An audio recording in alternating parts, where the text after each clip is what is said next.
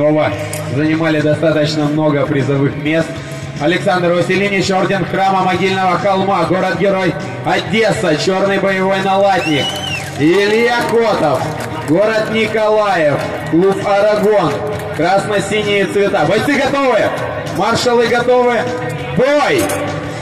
Александр Васильевич также является еще и левшой, что всегда неудобно для их оппонентов.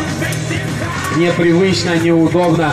А Александр Васильевич еще и является любителем действительно четких, сильных и акцентированных ударов.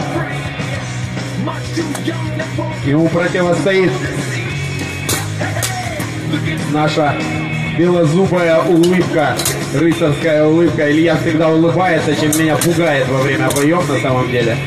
Я не понимаю, как можно улыбаться, когда тебя бьют. Но он улыбается.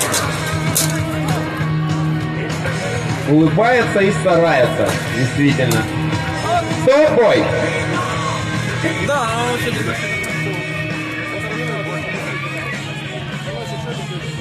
Он еще и свежий.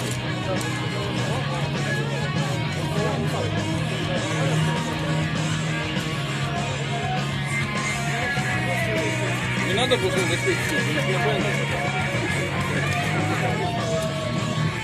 В этом бою со счетом 10-8 победа Александра Васильевича, город-герой Одесса. Котов остается на ресталище, может минуту отдохнуть.